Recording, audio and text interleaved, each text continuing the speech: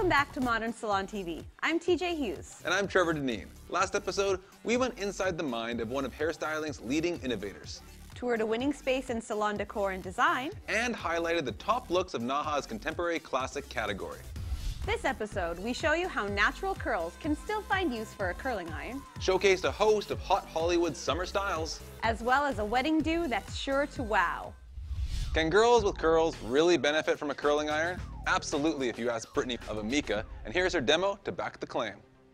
My name is Brittany Moshe and I'm an educator with Amika and today I will be demonstrating how your clients with naturally curly hair can still benefit from a curling iron. This is Charlene.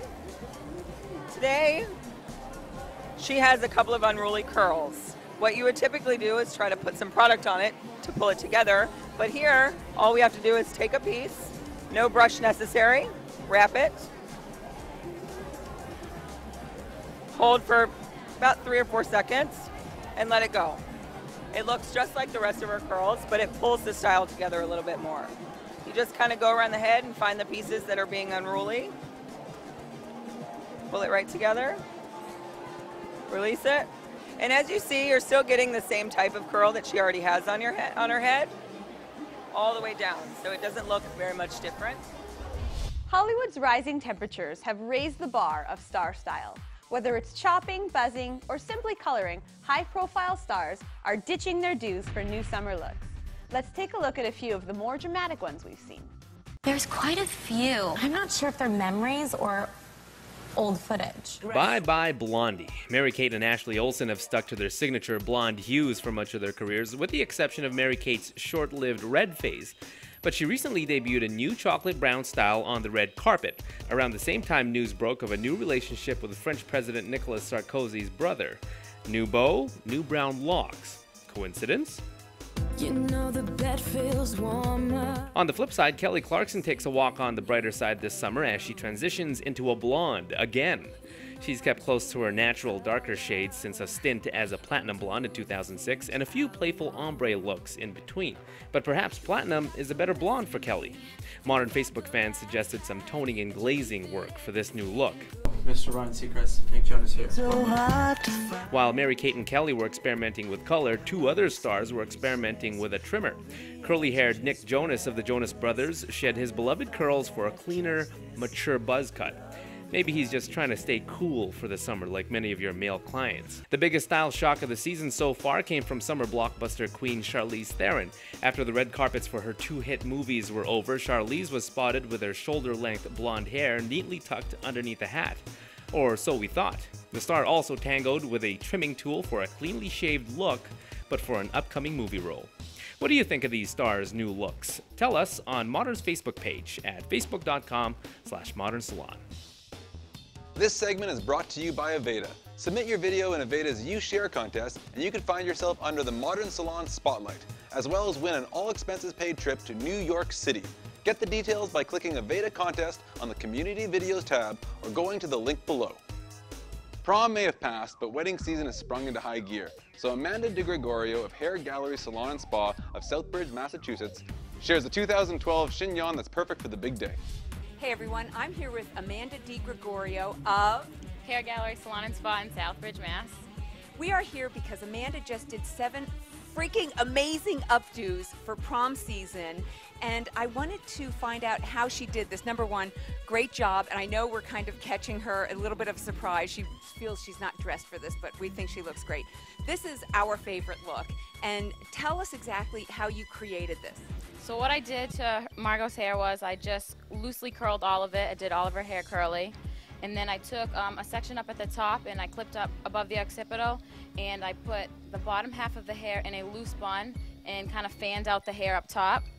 And then what I did was I started taking out each sections of the hair and I kind of twisted them and then bobby pinned them in place underneath the bun and did opposite side each side. I rotated each way.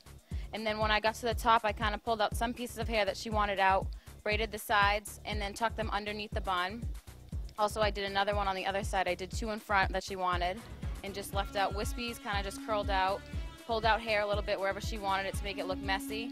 And then with the ending hair over here, I kind of just fanned it out and made a made a little circle and bobby pinned it all around and basically just made it look messy and that's about it. And these, uh, you were telling me that the bobby pins are deliberately showing. Yes. I just think it makes it look more, I don't know, more messy-ish kind of, but it's just just showing where they place.